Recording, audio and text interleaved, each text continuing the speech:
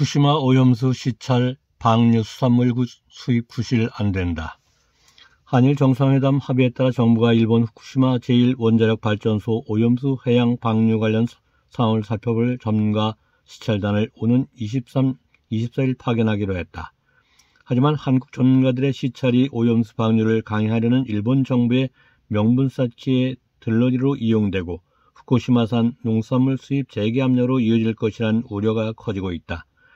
일본 정부가 국제 원자력 기구 차원이 아닌 개별 국가 등의 시찰을 허용한 것은 대만과 태평양 섬나라 18개국의 모인 태평양 도서국 포럼에 이어 한국이 세 번째다.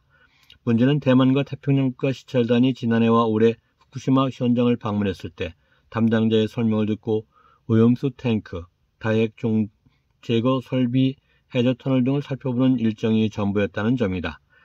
일본 쪽에서 보여주고 싶은 장소와 자료를 볼 수 있을 뿐 별도의 자체 검증은 불가능했다.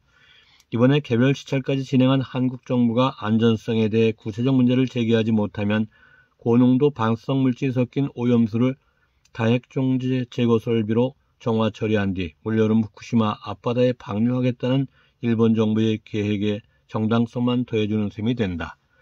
더욱 우려스러운 것은 한국의 제대로 된 검증 없이 올해 여름 바다 방류가 시작되면 지금까지 지켜온 후쿠시마산 농산물 수입 금지의 원칙도 흔들리게 된다는 점이다.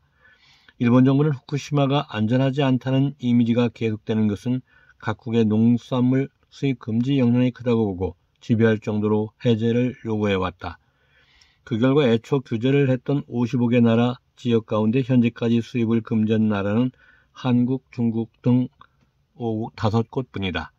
한국은 이와 관련해 세계 무역기구에서도 일본에 승소했는데 오염수 방류에 제대로 문제를 제기하지 못해 수입금지 명분도 잃게 될 엄중한 상황에 처한 것이다. 한일 관계 개선만 외치며 일본의 요구를 무조건 수용해온 윤석열 정부를 바라보는 여론의 근심은 커져간다. 국민의 건강과 안전, 바다와 수산업의 미래가 달린 문제마저 일본에 일방적으로 퍼주게 하는 상황은 절대로 용납할 수 없다. 정부는 우선 검증단을 제대로 꾸리고 안전성을 확인하기 전에는 오염수 방류를 하지 않겠다는 약속을 일본으로부터 받아야 한다.